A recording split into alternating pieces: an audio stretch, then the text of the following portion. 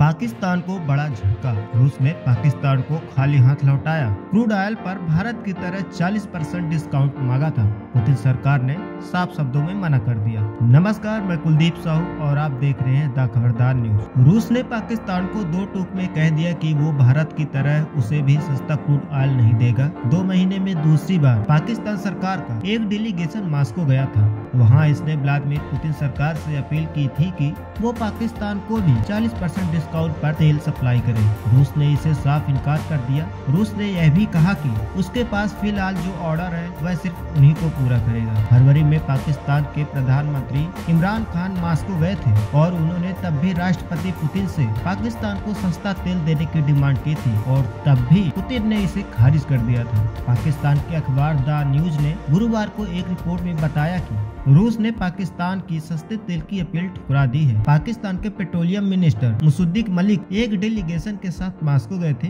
यहाँ उन्होंने रूसी अफसरों से मुलाकात की और भारत की तर्ज पर सस्ता तेल खरीदने की इच्छा जताई। लेकिन पुतिन सरकार इसके लिए कतई तैयार नहीं थी। रूस ने साफ़ कर दिया कि उसके सप्लाई स्लॉट बुक है और वो भारत जैसे अपने बड़े खरीदार को नाराज़ नहीं कर सकता है। भारत अपनी ज़रूरत का 80 परसेंट तेल आयात करते हैं। भारत ने अप्रैल में रूसी तेल आयात को बढ़ाकर लगभग दो लाख सतहत्तर हज़ार बैरल प्रतिदिन कर दिया है, जो मार्च में छाछठ हज़ार बैरल प्रतिदिन था। बीते साल आठ ऐसे भी देश थे, जिनसे भारत ने रूस की तुलना में अधिक तेल खरीदा था। अप्रैल तक का यह आंकड़ा कहीं ज़्यादा हो गया। खपत के मामले में अमेरिका और चीन के बाद भारत दुनिया का सबसे बड़ा देश है। वहीं बात करें रूस की तो अमेरिका और सऊदी अरब के बाद रूस दुनिया में कच्चे तेल का तीसरा सबसे बड़ा उत्पादक देश है। यहाँ से रोज़ाना करीब 50 लाख बैरल क्रूड ऑयल का निर्यात किया जाता है। निर्यात का 50 परसेंट से ज़्यादा हिस्सा यूरोप के देशों को सप्लाई होता है। अब बात करते हैं टॉप टेन तेल उत्पादक देश कौन कौन से हैं, जिसमें अमेरिका नंबर एक पर है, जो 16.5 मिलियन बैरल प्रतिदिन का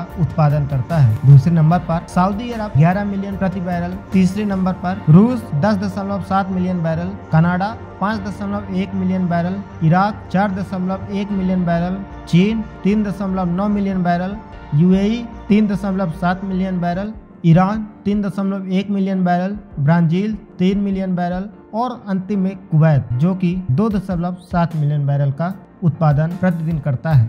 रूस अप्रैल में भारत का चौथा सबसे बड़ा क्रूड ऑयल सप्लायर बन गया है। रूस से अधिक crude oil Bharat, Iraq, Saudi अरब और यूएई से खरीद रहा है। भारत के कुल क्रूड ऑयल में अफ्रीकी तेल की हिस्सेदारी मार्च में चौदह दशमलव पाँच ऐसी घटकर अप्रैल में छह परसेंट रह गई है, जबकि अमेरिका की हिस्सेदारी करीब आधी होकर मात्र तीन परसेंट तक सिमट गई है। मार्च 2022 तक भारत जहाँ रूस, कजाकिस्तान और अजरबैजान से मात्र तीन परसेंट तेल खरीद रहा था, सिर्फ़ एक महीने बाद यह हिस्सा बढ़कर 11 परसेंट तक पहुँच गया। भारत ने रूस से मार्च 2022 में तीन लाख बैरल प्रतिदिन और अप्रैल में सात लाख बैरल प्रतिदिन क्रूड ऑयल खरीदा है। 2021 में ये औसत महज तैतीस हज़ार बैरल प्रतिदिन का था। रूसी हमले से पहले भारत अपने इंपोर्ट का कुल एक परसेंट तेल रूस से खरीदता था, जो कि अब बढ़कर सत्रह परसेंट हो गई है। इसी प्रकार की रोचक वीडियो देखने के लिए हमारे चैनल को सब्सक्राइब करें और बने रहें द खबरदार न्यूज़ के साथ। धन्यवाद।